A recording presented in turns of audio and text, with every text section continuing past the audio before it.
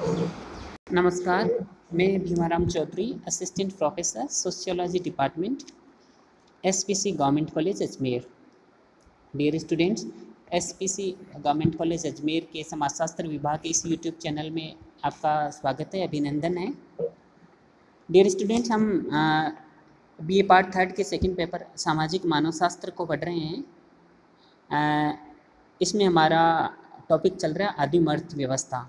इससे पहले जो वीडियो था उसमें मैंने आदिम अर्थव्यवस्था की जो कार्य प्रणाली है मैकेनिज्म ऑफ़ प्रिमिटिव इकोनॉमी है, उसके दो आधारों का विवेचन किया था। आदिम अर्थव्यवस्था की क्रियाशीलता के मुख्य रूप से चार आधार हैं, श्रम विभाजन, उत्पादन वितरण, उपभोग और विनिमय। डियर स्टूडेंट जैसा कि आप जानते हैं श्रम विभाजन किसी भी समाज की एक मूलभूत सामाजिक प्रकटना होती है, जिसके आधार पर समाज में विभिन्न कार्यों का संपादन किया जाता है। और इसी तरह आदिम समाज की जो अर्थव्यवस्था है, आदिम अर्थव्यवस्था है, उसमें भी जेंडर लिंग के आधार पर और आयु के आधार पर श्रम विभाजन होता है। और इस श्रम विभाजन के माध्यम से वो विभिन्न आर्थिक क्रियाओं को संपन्न करते हैं। उसके माध्यम से अपनी मूलभूत ज़रूरतों की पूर्ति के लिए आवश्यक खाद्यान्न का संकलन और उत्पादन करते हैं, अपने जीवन के अस्तित्व को बनाए रखते हैं, अपने मूलभूत मनोवैज्ञानिक आवश्यकताओं को पूर्ति करते हैं, अपनी और परिवार और समुदाय की ज़रूरतों को पूर्ति करते हैं और अपन जीवन, अपना जीवन निर्वाह सुनिश्चित करते हैं। हम जानते हैं कि आदिम अर्थव्यवस्था का जो मुख्य उद्देश्य है, वह शारीरिक अस्तित्व बनाए रखना और अपनी मनोवैज्ञानिक आवश्यकताओं की संतुष्टि करना होता है। वो लाभार्जन के लिए, एकाधिकार के लिए प्रभुता स्थापित करने के लिए और बाज़ार में अपनी हिस्सेदारी तय करने के लिए आर्थिक क्रियाएँ उनका संचालन नहीं करते हैं। उनका मुख्य उद्देश्य जीवन यापन होता है और वो सामुदायिक दायित्व बोध और कर्तव्य बोध की भावनाओं के साथ आर्थिक क्रियाएँ करते हैं, उत्पादन की क्रियाओं को संपन्न करते हैं। व्यक्ति, परिवार, समुदाय तीनों उसके इकाइयाँ होती हैं उत्पादन की, तीनों मिलकर उत्पादन करते हैं और सबसे पहले परिवार की ज़रूरतों की पूर्ति होती है, उसके बाद में जो अतिरिक्त उत्पादन होता है, वो समुदाय की ज़रूरतों की पूर्ति के लिए दिया जाता है। वहाँ सामुदायिक एकजुटता, सहकारिता की भावना बहुत प्रबल होता है। एक सब के लिए, सब एक के लिए इस भावना से वो काम करते हैं। यह आदिम अर्थव्यवस्था की बहुत ही महत्वपूर्ण विशेषता है। अब आप, अब तक आप ये पढ़ चुके हैं कि आदिम जो अर्थव्यवस्था उसमें श्रम विभाजन, स्त्री पुरुष के आधार पर जेंडर के आधार पर और आयु के आधार पर होता है। और जो उत्पादन है उसमें वो पशु पालन के साथ कृषि क्रियाओं के माध्यम से अनाज और अन्य फल, सब्ज़ियाँ इस तरह की चीज़ों का उत्पादन करते हैं और परिवार और समुदाय की ज़रूरतों को पूर्ति करते हैं। और इसके अतिरिक्त जो खाद्य पदार्थ है, खाद्यान्न है वह बच जाता है तो समुदाय के दूसरे सदस्यों की पूर्ति के लिए उनको वह उपलब्ध करवा दिया जाता है। तो इस तरह वहाँ पर श्रम विभाजन और उत्पादन की आर्थिक क्रियाएँ संपन्न होती हैं। ये दो महत्वपूर्ण घटक हैं जिनको हमने पढ़ा है। अब हम पढ़ेंगे वितरण एवं उपभोग को। स्टूडेंट्स, जैसा कि आप जानते हैं कि अर्थव्यवस्था के अंदर हम जानते हैं कि उत्पादन होने के बाद जो अतिरिक्त खाद्यान्न या जो चीज़ें बच जाती हैं वो दूसरों को उनकी ज़रूरत के अनुसार उपलब्ध करवाई जाती है। सरल भाषा में यही वितरण है। वितरण का तात्पर्य ये है कि आर्थिक उत्पादन की प्रक्रियाओं में प्रत्येक व्यक्ति को जो हिस्सा मिलता है, उसका, वह उसका वितरण कहलाता है।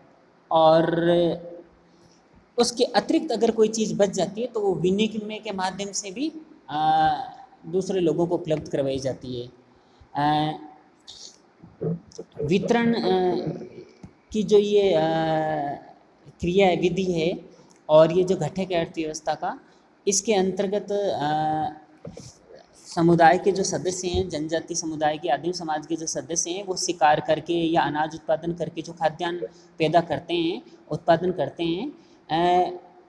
इसका जो वितरण होता है, उसका मूलभूत आधार सामाजिक होता है, नहीं कि आर्थिक। यानी कि यह वितरण प्रथा और परंपरा के अनुसार तय होता है अधिकांशतया यह मुखिया की देखरेख में तय होता है। प्रत्येक जनजाति का, आदिम समाज का एक मुखिया होता है और वो बहुत ही सम्माननीय पद होता है आदिम समाज में और उसके आदेशों की पालना की जाती है।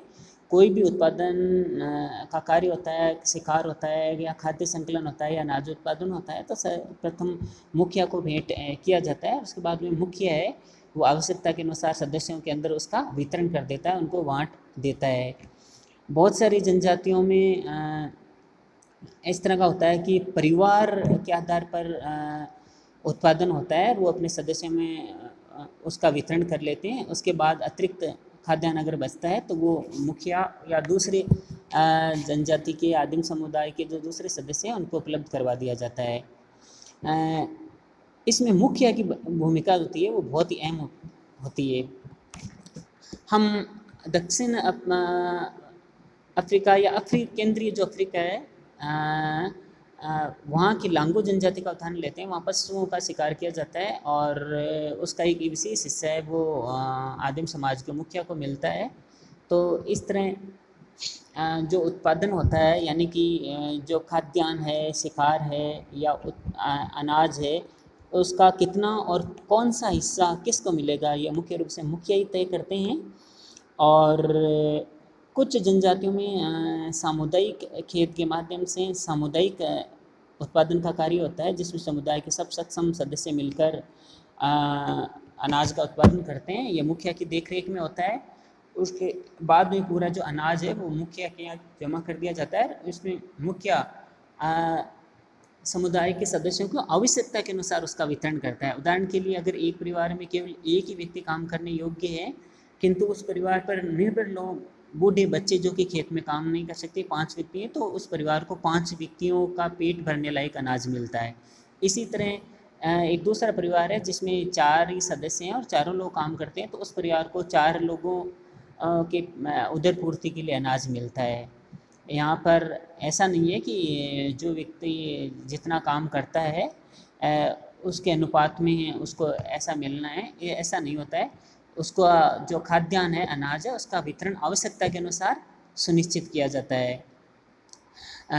फिलीपींस की इफू का वो एक जनजाति है, उसमें पारिवारिक आधार पर खेती होती है और जो अनाज उत्पादन होता है, खाद्यान्न उत्पादन होता है, वो परिवार की पूर्ति के बाद अगर बच जाता है तो दूसरे परिवारों को वह उपलब्ध करवा दिया जाता है और बदले में दूसरे परिवार हैं आगे जब भी फ़सल या अनाज उत्पादन होता है तो उसे वापस लौटा देते हैं।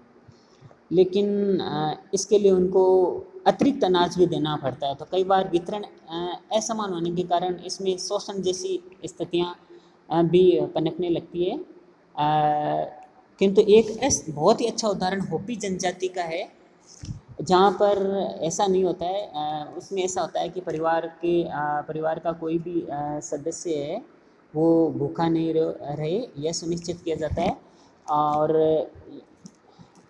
एक परिवार की ज़रूरतें पूरी होने के उपरांत जो अतिरिक्त खाद्यान्न है, वो दूसरे परिवार को उपलब्ध करवा दी जाती है। उसको उदारतापूर्वक दी जाती है, अतिथि सत्कार के रूप में उनको दी जाती है। तो प्रत्येक परिवार दूसरे परिवार के प्रति अपना कर्तव्य का बोध महसूस करता है। एक सामुदायिक की भावना का बोध होता है उनको। और सामुदायिकता और सहकारिता की भावना से वो आ, ये वितरण का कार्य करते हैं। इस तरह समाज में आर्थिक समानता है वह बनी रहती है और अनाज का और खाद्यान्न का उत्पादन का न्यायपूर्ण वितरण सुनिश्चित करने की कार्य प्रणाली आदिम समाज ने विकसित कर रखी है। इसमें एक जैसा प्र, आ, प्रतिमान तो देखने को नहीं मिलता है लेकिन प्राय आदिम समाज में वितरण की जो कार्य प्रणाली है, जो आदिम अर्थव्यवस्था का कार्य प्रणाली का एक महत्वपूर्ण घटक है उसमें जो अनाज है, खाद्यान्न है, उत्पादन है, उसका समतापूर्ण और न्यायपूर्ण वितरण सुनिश्चित किया जाता है, जिसमें समुदाय के सब सदस्यों की मूलभूत ज़रूरतों की पूर्ति हो और उन्हें अपना जीवन का अस्तित्व बनाए रखने में किसी तरह की कठिनाई नहीं हो। तो पारिवारिक और सामुदायिक भावना गहरी होती है, सुदृढ़ होती है और इसके माध्यम से वो अपना जीवन यापन करते हैं, आर्थिक क्रियाओं को संपन्न करते हैं। ये है आदिम अर्थव्यवस्था की क्रियाशीलता का वितरण घटक है। अब हम आते हैं उपभोग की ओर। उपभोग का तात्पर्य जो उत्पादन हुआ है, खाद्यान्न है, अनाज है जीवन यापन की दूसरी ज़रूरी हैं। उनकी उपयोगिता को काम में लेना, उनकी उपयोगिता सुनिश्चित करना। और आदिम समाज में हम देखते हैं कि बहुत बड़े पैमाने पर अतिरिक्त उत्पादन नहीं होता है। परिवार की ज़रूरतों के लिए ही उत्पादन होता है। और जो उपभोग होता है, वो सामाजिक स्थिति के अकॉर्डिंग होता है कि एक व्यक्ति किस सीमा तक और कितना उपभोग करता है, ये उसके सामाजिक स्थिति के आधार पर तय होता है और न कि आर्थिक स्थिति के आधार पर। उदाहरण के लिए जो आदिम समाज का जो मुख्य होता है, उसकी सामाजिक स्थिति ऊँची होती है, उसका सम्मान होता है, उसके बात को सभी मानते हैं, वह साधारण लोगों से अलग तरीके से रहता है और शिकार या अनाज या खाद्यान्न उत्पादन है या खाद्यान्न संकलन है, उसका एक विशिष्ट भाग उसको दिया जाता है। और उनको अतिरिक्त उपभोग करने का हक होता है। इस तरह आदिम समाज में जो उपभोग होता है वह सर्वप्रथम तो मानव की मूलभूत ज़रूरत की पूर्ति सुनिश्चित करता है, उसका शारीरिक अस्तित्व बनाए रखता है, उसकी मनोवैज्ञानिक आवश्यकताओं की संतुष्टि करता है। उसके उपरांत अतिरिक्त उपभोग का जो अधिकार है, वो आदिम समाज में मुखिया और अन्य प्रतिश कुछ ही लोगों को होता है। कभी कभी आदिम समाज में दृष्टि आकर्षक उपभोग जो जाने माने समाजशास्त्री थ्रस्टिन वेबलिन ने दिए दृष्टि आकर्षक उपभोग कंस्पिक्रियस कंजम्पशन का उदाहरण भी देखने को मिलता है, जिनके आधार आदिम समाज में व्यक्ति की सामाजिक प्रतिष्ठा और मान सम्मान तय होता है। ऐसी स्थिति में आदिम समाज के जो सदस्य होते हैं, वो सामूहिक भोज का आयोजन करते हैं। उसमें खाद्यान्न है उपभोग की जो वस्तुएँ हैं, उनकी बर्बादी होती है और व्यापक स्तर पर उनका इस्तेमाल होता है। इसके माध्यम से वो अपनी सामाजिक प्रतिष्ठा ऊपर उठाने का प्रयास करते हैं। किंतु आदिम समाज में सामान्यतः उत्पादन की जो मात्रा है, वो चूँकि सीमित होती है, वो अपने जीवन यापन की आवश्यकताओं की पूर्ति तक ही उत्पादन करते हैं, इसलिए अतिरिक्त खाद्यान्न है, अनाज है उपभोग की वस्तुएँ हैं। वह नहीं होती हैं, इसलिए व्यापक स्तर पर, बड़े पैमाने पर दृष्टि आकर्षक उपभोग का जो है, उदाहरण नहीं मिल पाता है इसका अवसर नहीं मिल पाता है। इस कारण उपभोग की जो मात्रा होती है, वो प्राय लगभग एक जैसी होती है। और आदिम समाज में हम ये देखते हैं कि आदिम समाज में चूँकि उत्पादन है, वो जीवन की मूलभूत आवश्यकताओं की पूर्ति के लिए, जीवन निर्वाह के लिए होता है, लाभार्जन के लिए और प्रतिस्पर्धा के लिए सामाजिक प्रतिष्ठा ऊपर उठाने के लिए नहीं होता है। इस कारण उनका जो जीवन स्तर होता है लिविंग स्टैंडर्ड वो बहुत नीचा होता है। काफ़ी कठिनाईपूर्ण और संघर्षपूर्ण उनका जीवन यापन होता है।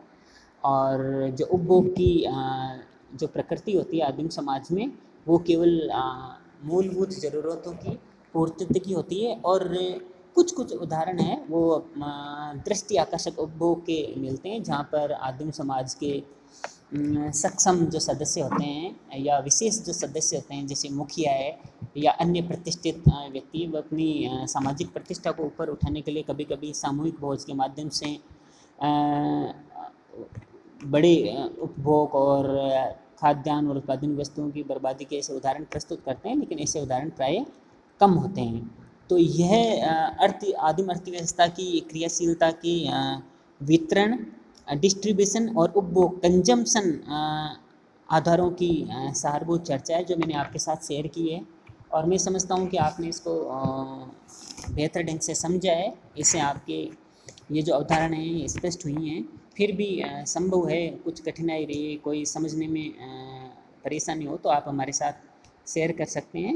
आ, कोई जिज्ञासा है कोई प्रश्न है कोई सुझाव है तो वह भी आप शेयर कर सकते हैं उसका भी स्वागत है। आ, इसके अगले वीडियो में डियर स्टूडेंट्स हम आदिम समाज की विनिमय प्रथा है एक्सचेंज है उपहार प्रथा है हॉस्पिटलिटी है अतिथि सत्कार प्रथा है। इन चीज़ों का अध्ययन करेंगे। उसमें विशेष रूप से पोटलेज है पुल्ला प्रथा है मूक अदला बदली है, इन चीज़ों को सार रूप में आपके सामने प्रस्तुत करने का प्रयास किया जाएगा। क्योंकि वस्तुओं का आदान प्रदान होता है, वो उपहार, व्यापार और विनिमय इन तीन माध्यम से होता है तो इनको हम संक्षिप्त में अगली वीडियो में आपके साथ शेयर करेंगे। धन्यवाद।